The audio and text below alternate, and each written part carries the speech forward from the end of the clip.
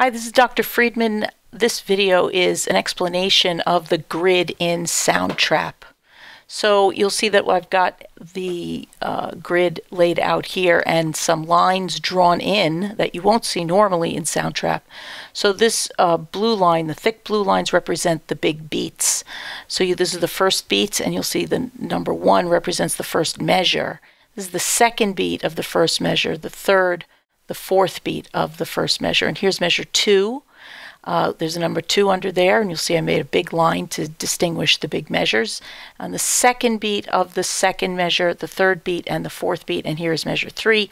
Notice, please, that the grid size I've chosen is one eighth note. So the dotted lines along the grid here are the eighth notes. So this would be the first beat right on the beat. And this dotted line represents halfway between the first beat and the second beat, and then so forth throughout these two measures. So I want to explain to you what happens when you uh, see when you have a quarter note. So I'm going to draw in what would be the standard music notation for a quarter note would land exactly right there on the beat. And here would be the next quarter note would land exactly on the beat.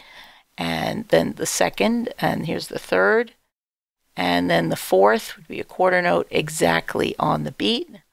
And so that's how they land. When you look at them in a, a view like uh, the graphic notation, a quarter note would last this long and it would fill up the whole measure. So that would be filled in. I won't draw them all out, but you get the idea. So when you look at a quarter note, this lands on the beat and lasts the whole measure. And so that's what the grid view for quarter notes is.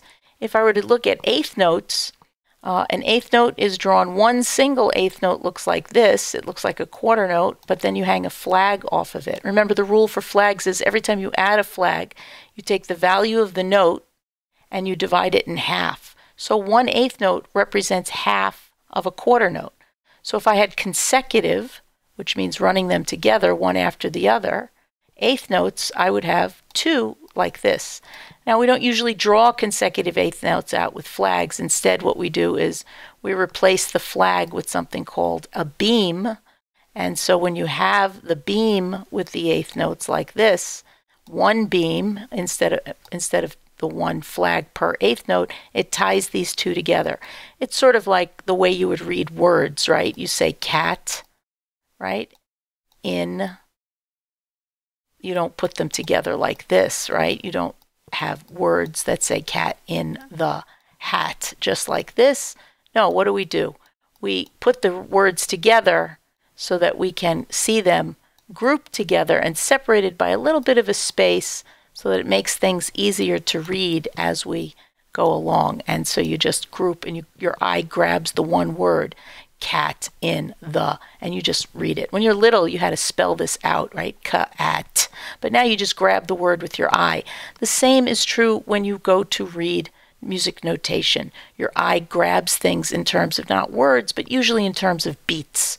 So vocalists might see this if I were to see some written words under here, like one syllable, like ah, le, lu, ya, would be nicely done if I had each one of these eighth notes individual for each one of the syllables of the word. So that's why you might see individual eighth notes. So for us, we're going to look at consecutive eighth notes look like this. So what happens if I want to do more than consecutive eighth notes? Well, if I want to do 16th notes, you just have to put your note heads in between because 16th notes run this way. You can change the grid in Soundtrap so that you can look at all the lines and all the boxes for 16th notes.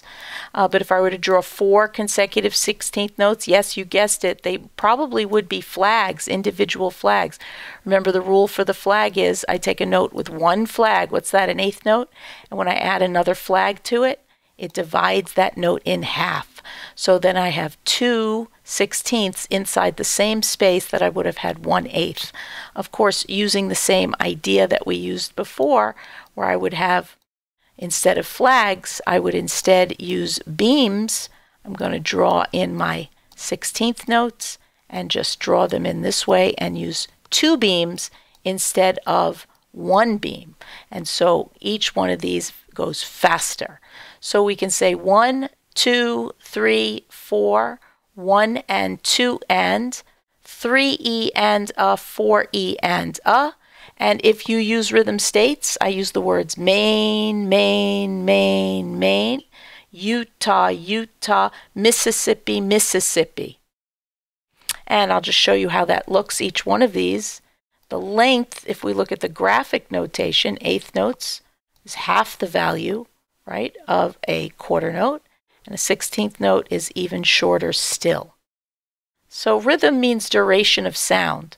So this would be what an eighth note looks like, one on top of the other, and this would be what a sixteenth note looks like. So each one gets smaller and shorter still. Maine, Maine, Utah, Utah, Mississippi, Mississippi. And that's how they fit.